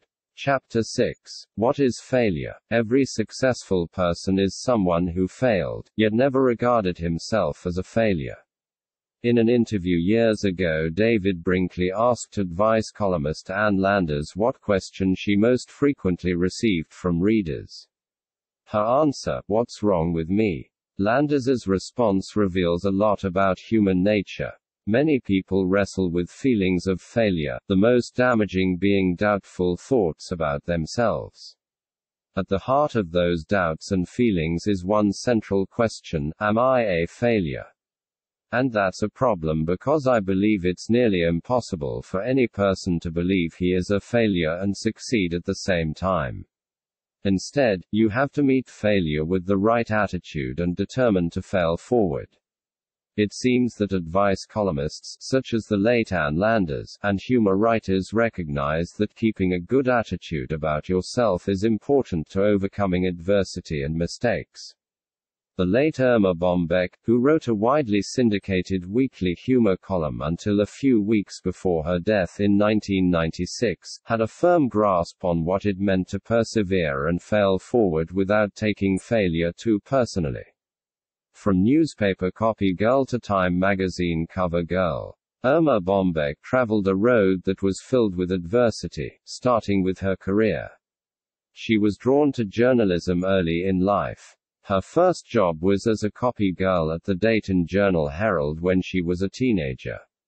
But when she went off to college at Ohio University, a guidance counselor advised her, forget about writing. She refused. Later she transferred to the University of Dayton and in 1949 graduated with a degree in English. Soon afterward she began working as a writer, for the obituary column and the women's page. That year adversity carried over into her personal life. When she got married, one of her deepest desires was to become a mother. But much to her dismay, her doctors told her she was incapable of having children. Did she give up and consider herself a failure? No, she and her husband explored the possibility of adoption, and then they adopted a daughter. Two years later, a surprised Erma became pregnant. But even that brought her more difficulties. In four years she experienced four pregnancies, but only two of the babies survived. In 1964 Erma was able to convince the editor of a small neighborhood newspaper, the Kettering Oakwood Times, to let her write a weekly humor column. Despite the pitiful $3 per article she was paid, she kept writing. And that opened a door for her. The next year she was offered the opportunity to write a three times a week column for her old employer, the Dayton Journal Herald. By 1967 her column was syndicated and carried by more than 900 newspapers. For slightly more than 30 years Erma wrote her humor column. During that time she published 15 books, was recognized as one of the 25 most influential women in America, appeared frequently on the television show Good Morning America, was featured on the cover of Time magazine, received innumerable honors, such as the American Cancer Society's Medal of Honor, and was awarded 15 honorary degrees. More than her share of problems. But during that span of time, Erma Bombeck also experienced incredible troubles and trials, including breast cancer, a mastectomy, and kidney failure. And she wasn't shy about sharing her perspective on her life experiences. I speak at college commencements, and I tell everyone I'm up there and they're down there, not because of my successes, but my failures. Then I proceed to spin all of them off, a comedy record album that sold two copies in Beirut, a sitcom that lasted about as long as a donut in our house. A Broadway play that never saw Broadway. Book signings where I attracted two people, one who wanted directions to the restroom and the other who wanted to buy the desk. What you have to tell yourself is, I'm not a failure. I failed at doing something. There's a big difference. Every genius could have been a failure. Every successful person is someone who failed, yet never regarded himself as a failure. For example, Wolfgang Mozart, one of the geniuses of musical composition, was told by Emperor Ferdinand that his opera The Marriage of Figaro was far too noisy and contained far too many notes. Artist Vincent van Gogh, whose paintings now set records for the sums they bring at auction, sold only one painting in his lifetime. Thomas Edison, the most prolific inventor in history, was considered unteachable as a youngster. And Albert Einstein, the greatest thinker of our time, was told by a Munich schoolmaster that he would never amount to much. I think it's safe to say that all great achievers are given multiple reasons to believe they are failures. But in spite of that, they remain positive and they persevere. In the face of adversity, rejection, and failings, they continue believing in themselves and refuse to consider themselves failures. They chose to develop the right attitude about failure. Failing forward is not false self esteem. I place high value on praising people, especially children. In fact, I believe that people live up to your level of expectation. But I also believe that you have to base your praise on truth. You don't make up nice things to say about others. Here's the approach I use to encourage and lead others, value people. Praise effort, reward performance. I use that method with everyone. I even use a form of it with myself. When I'm working, I don't give myself a reward until after the job is finished. When I approach a task or project, I give it my very best, and no matter what the results are, I have a clear conscience. I have no problem sleeping at night. And no matter where I fail or how many mistakes I make, I don't let it devalue my worth as a person. As the saying goes, God uses people who fail, cause there aren't any other kind around. It is possible to cultivate a positive attitude about yourself, no matter what circumstances you find yourself in or what kind of history you have. 7 abilities needed to fail forward. Here are 7 abilities of achievers that enable them to fail, not take it personally, and keep moving forward. 1. Reject rejection. Author James Allen states, A man is literally what he thinks, his character being the complete sum of all his thought. That's why it's important to make sure your thinking is on the right track. People who don't give up keep trying because they don't base their self worth on their performance. Instead, they have an internally based self image. Rather than say, I am a failure, they say, I missed that one, or I made a mistake. Psychologist Martin E. Seligman believes we have two choices when we fail. We can internalize or externalize our failure. People who blame themselves when they fail think they're worthless, talentless, unlovable, says Seligman. People who blame external events do not lose self-esteem when bad events strike. 2. To keep the right perspective, take responsibility for your actions, but don't take failure personally. 2. See failure as temporary. People who personalize failure see a problem as a hole they're permanently stuck in. But achievers see any predicament as temporary. For example, take the case of United States President Harry S. Truman. In 1922 he was 38 years old, in debt, and out of work. In 1945 he was the most powerful leader of the free world, occupying the highest office in the land. If he had seen failure as permanent, he would have remained stuck and never would have kept trying and believing in his potential.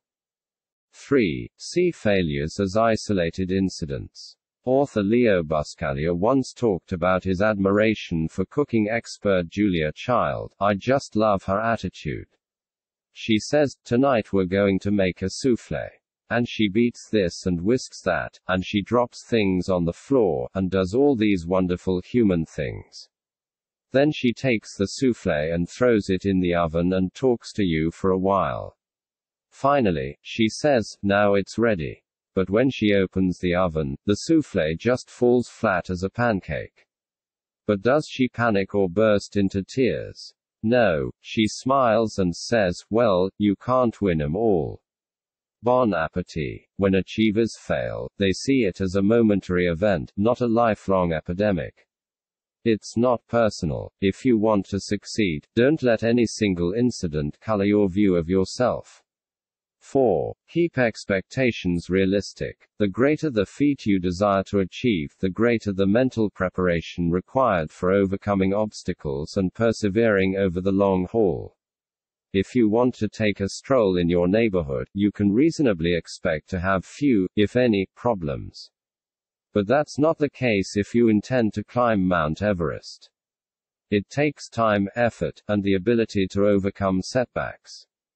You have to approach each day with reasonable expectations and not get your feelings hurt when everything doesn't turn out perfectly. Something that happened on baseball's opening day in 1954 illustrates the point well. The Milwaukee Braves and the Cincinnati Reds played each other, and a rookie for each team made his major league debut during that game. The rookie who played for the Reds hit four doubles and helped his team win with a score of 9 to 8. The rookie for the Braves went 0 for 5. The Reds player was Jim Greengrass, a name you probably haven't heard. The other guy, who didn't get a hit, might be more familiar to you. His name was Hank Aaron, the player who became the best home run hitter in the history of baseball. If Aaron's expectations for that first game had been unrealistic, who knows? He might have given up baseball. Surely he wasn't happy about his performance that day, but he didn't think of himself as a failure. He had worked too hard for too long. He wasn't about to give up easily. 5. Focus on strengths. Another way achievers keep themselves from personalizing failure is by focusing on their strengths. Bob Butera, former president of the New Jersey Devils hockey team, was asked what makes a winner. He answered, What distinguishes winners from losers is that winners concentrate at all times on what they can do, not on what they can't do. If a guy is a great shooter but not a great skater, we tell him to think only about the shot, the shot, the shot, never about some other guy outskating him. The idea is to remember your successes. If a weakness is a matter of character, it needs much attention.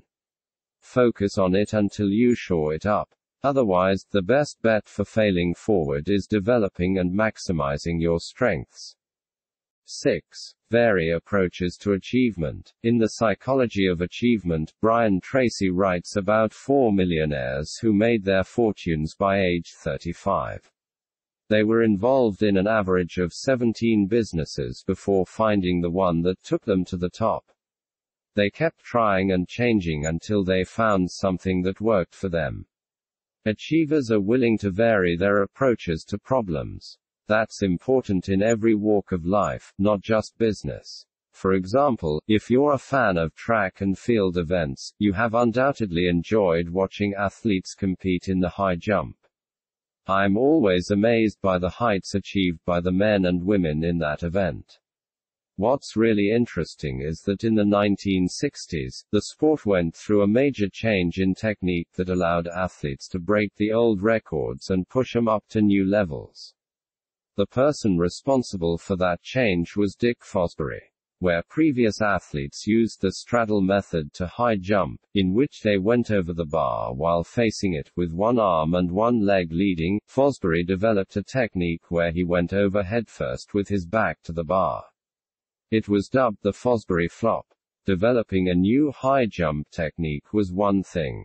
Getting it accepted by others was another matter.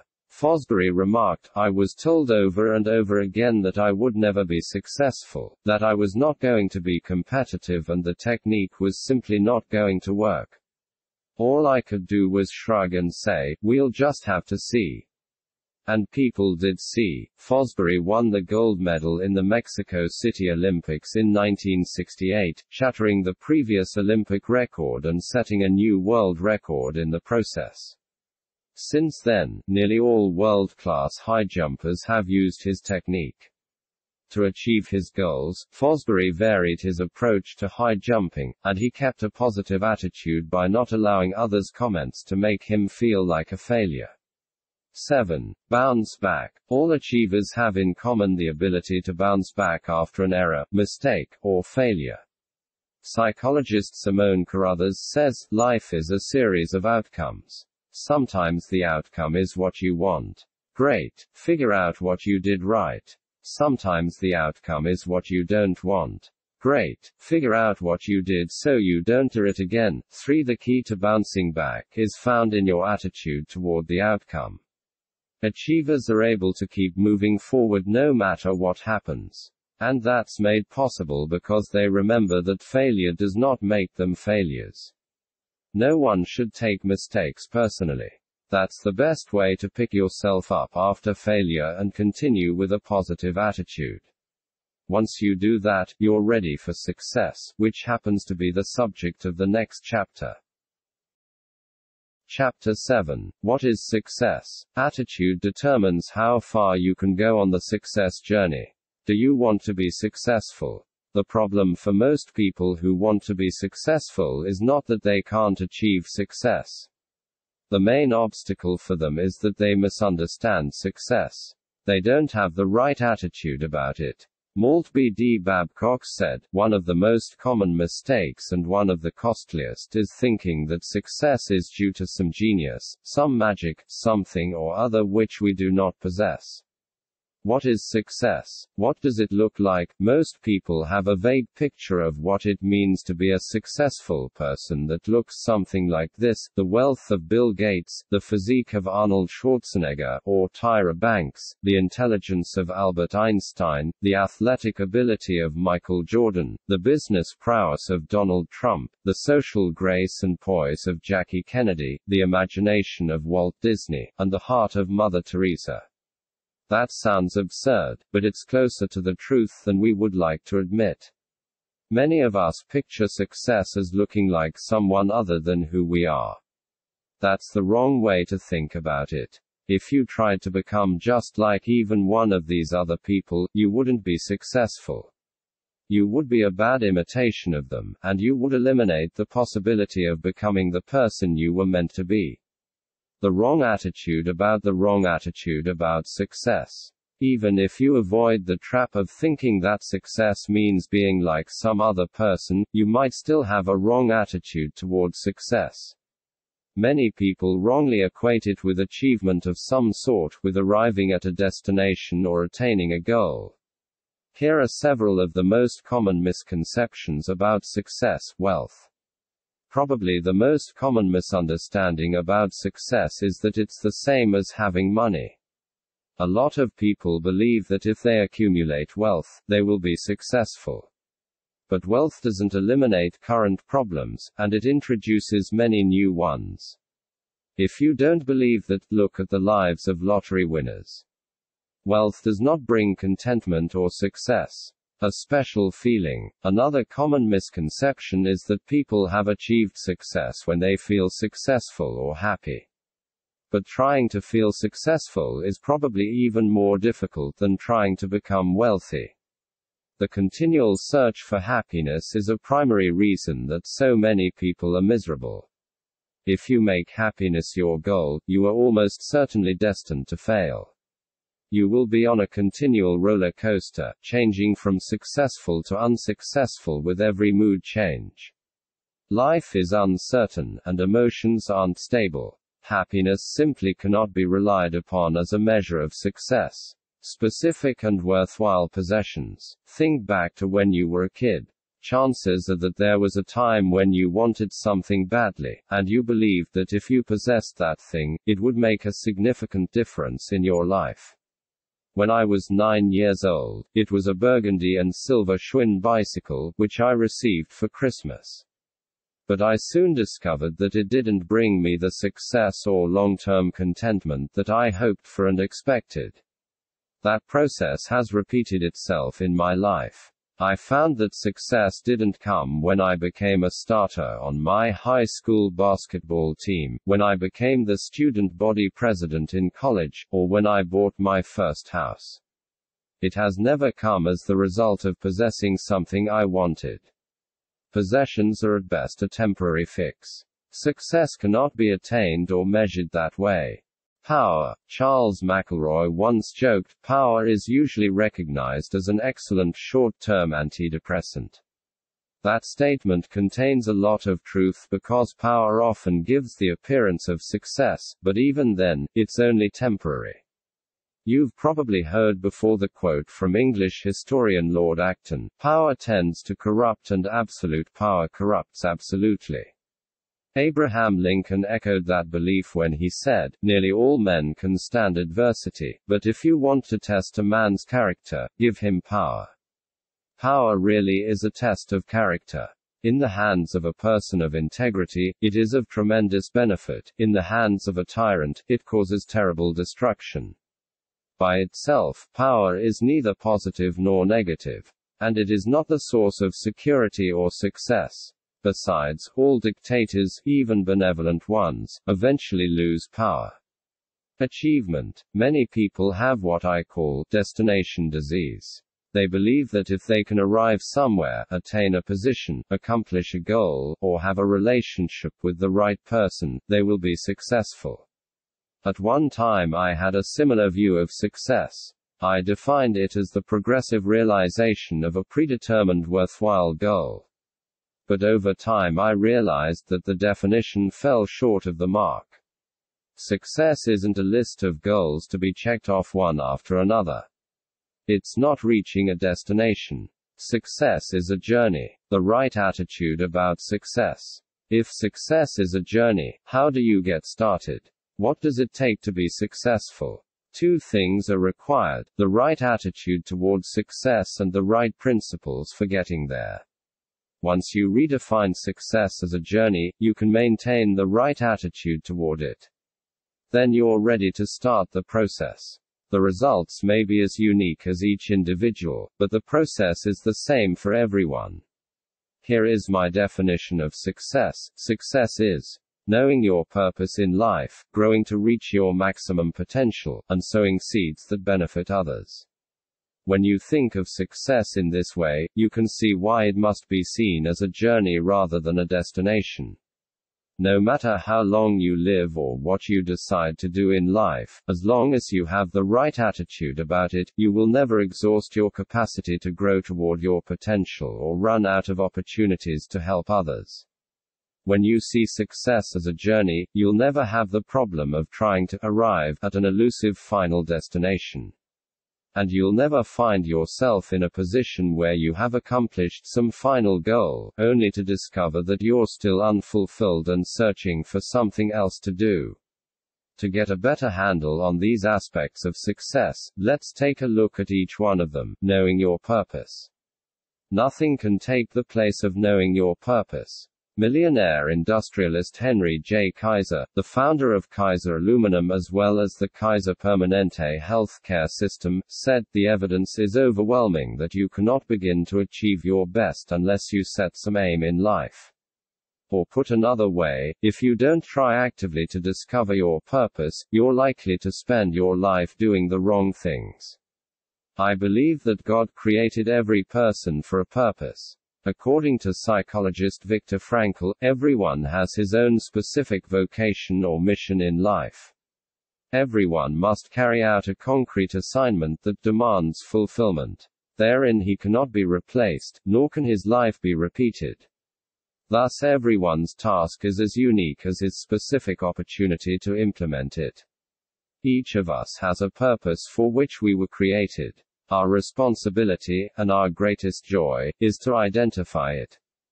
Here are some questions to ask yourself to help you identify your purpose. For what am I searching? All of us have a strong desire buried in our hearts, something that speaks to our deepest thoughts and feelings, something that sets our souls on fire. You only need to find it. Why was I created? Each of us is different. Think about your unique mix of abilities, the resources available to you, your personal history, and the opportunities around you. If you objectively identify these factors and discover the desire of your heart, you will have done a lot toward discovering your purpose in life. Do I believe in my potential? If you don't believe that you have potential, you will never try to reach it. You should take the advice of President Theodore Roosevelt, who said, Do what you can, with what you have, where you are. If you do that with your eyes fixed on your life purpose, what else can be expected of you? When do I start? The answer to that question is now. Growing to your potential. Novelist H.G. Wells held that wealth, notoriety, place, and power are no measures of success whatsoever. The only true measure of success is the ratio between what we might have been and what we have become. In other words, success comes as the result of growing to our potential. We have nearly limitless potential, yet too few ever try to reach it. Why? The answer lies in this we can do anything, but we can't do everything. Many people let everyone around them decide their agenda in life. As a result, they never really dedicate themselves to their purpose in life. They become a jack of all trades, master of none, rather than a jack of few trades, focused on one. If that describes you more than you'd like, you're probably ready to take steps to make a change. Here are four principles to put you on the road to growing toward your potential. 1. Concentrate on one main goal. Nobody ever reached her potential by scattering herself in 20 directions. Reaching your potential requires focus. 2. Concentrate on continual improvement. David D. Glass, chairman of the executive committee of the Walmart board of directors, was once asked whom he admired most. His answer was Walmart founder Sam Walton. He remarked, There's never been a day in his life, since I've known him, that he didn't improve in some way. Commitment to continual improvement is the key to reaching your potential and to being successful. 3. Forget the past. My friend Jack Hayford, pastor of Church on the Way in Van Nuys, California, commented, The past is a dead issue, and we can't gain any momentum moving toward tomorrow if we are dragging the past behind us. If you need inspiration, think of other people who overcame seemingly insurmountable obstacles, such as Booker T. Washington, Helen Keller, and Franklin Delano Roosevelt. Each of them overcame incredible odds to achieve great things. And remember, no matter what you've faced in the past, you have the potential to overcome it. 4. Focus on the future. Baseball Hall of Famer Yogi Berra declared, The future isn't what it used to be. Although that may be true, it's still the only place we have to go. Your potential lies ahead of you, whether you're 8, 18, 48, or 80. You still have room to improve yourself. You can become better tomorrow than you are today. As the Spanish proverb says, he who does not look ahead remains behind. Sowing seeds that benefit others. When you know your purpose in life and are growing to reach your maximum potential, you're well on your way to being a success. But there is one more essential part of the success journey helping others. Without that aspect, the journey can be a lonely and shallow experience. It's been said that we make a living by what we get, but we make a life by what we give. Physician, theologian, and philosopher Albert Schweitzer stated it even more strongly the purpose of human life is to serve, and to show compassion and the will to help others. For him, the success journey led to Africa where he served people for many years. For you, sowing seeds that benefit others probably won't mean traveling to another country to serve the poor, unless that is the purpose you were born to fulfill. And if it is, you won't be satisfied until that's what you're doing. However, if you're like most people, helping others is something you can do right here at home, whether it's spending more time with your family, developing an employee who shows potential, helping people in the community, or putting your desires on hold for the sake of your team at work. The key is to find your purpose and help others while you're pursuing it. Entertainer Danny Thomas insisted that all of us are born for a reason, but all of us don't discover why. Success in life has nothing to do with what you gain in life or accomplish for yourself. It's what you do for others. We make a living by what we get, but we make a life by what we give. Having the right view of success can help you keep a positive attitude about yourself and life, no matter what kind of circumstances you find yourself in.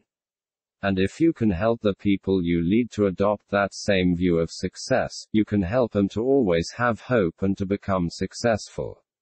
Why? Because all people, regardless of talent level, education, or upbringing, are capable of knowing their purpose, growing to their maximum potential, and sowing seeds that benefit others.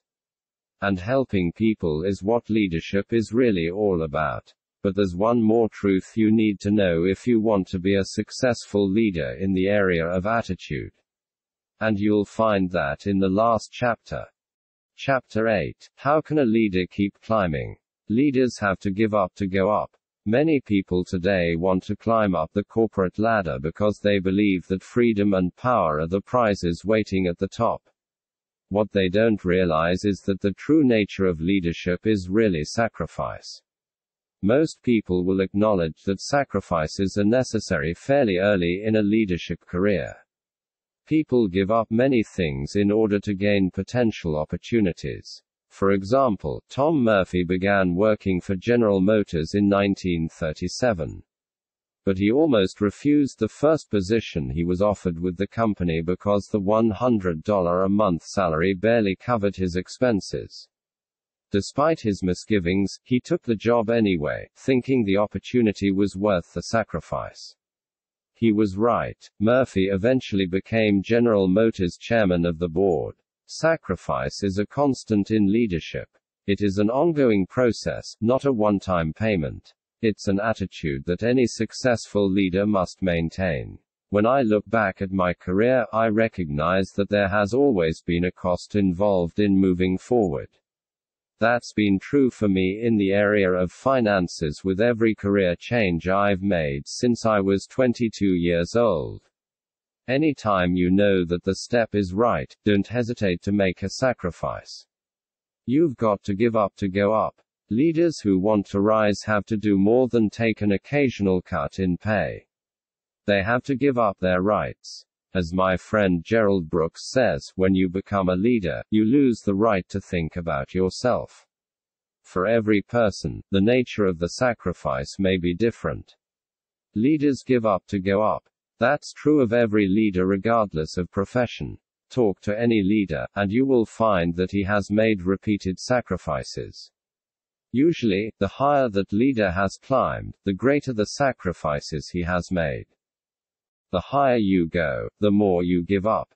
Who is the most powerful leader in the world? I'd say it's the President of the United States. More than any other single person, his actions and words make an impact on people, not just in our country, but around the globe. Think about what he must give up to reach the office of president and then to hold that office. His time is no longer his own. He is scrutinized constantly. His family is under tremendous pressure. And as a matter of course, he must make decisions that can cost thousands of people their lives. Even after he leaves office, he will spend the rest of his life in the company of Secret Service agents who protect him from bodily harm. The greater the leader, the more he must give up. Think about someone like Martin Luther King Jr. His wife, Coretta Scott King, remarked in My Life with Martin Luther King Jr., day and night our phone would ring, and someone would pour out a string of obscene epithets. Frequently the calls ended with a threat to kill us if we didn't get out of town. But in spite of all the danger, the chaos of our private lives, I felt inspired, almost elated. While pursuing his course of leadership during the civil rights movement, King was arrested and jailed on many occasions. He was stoned, stabbed, and physically attacked. His house was bombed, yet his vision, and his influence, continued to increase. Ultimately, he sacrificed everything he had. But what he gave up he parted with willingly. In his last speech, delivered the night before his assassination in Memphis, he said, I don't know what will happen to me now. We've got some difficult days ahead. But it doesn't matter to me now. Because I've been to the mountaintop. I won't mind. Like anybody else, I would like to live a long life. Longevity has its place. But I'm not concerned about that now. I just want to do God's will. And he's allowed me to go up to the mountain. And I've looked over and I've seen the promised land. I may not get there with you, but I want you to know tonight that we, as a people, will get to the promised land. Sir, I'm happy tonight. I'm not fearing any man. Mine eyes have seen the glory of the coming of the Lord. One the next day he paid the ultimate price of sacrifice. King's impact was profound. He influenced millions of people to peacefully stand up against a system and society that fought to exclude them. The higher the level of leadership you want to reach, the greater the sacrifices you will have to make. What successful people find to be true becomes even clearer to them when they become leaders. There is no success without an attitude of sacrifice. The higher the level of leadership you want to reach, the greater the sacrifices you will have to make. To go up, you have to give up. That is the true nature of leadership. That is the power of the right attitude.